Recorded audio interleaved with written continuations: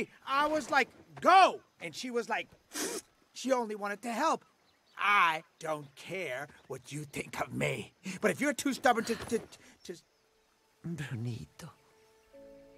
I feel like I missed something important. Come on.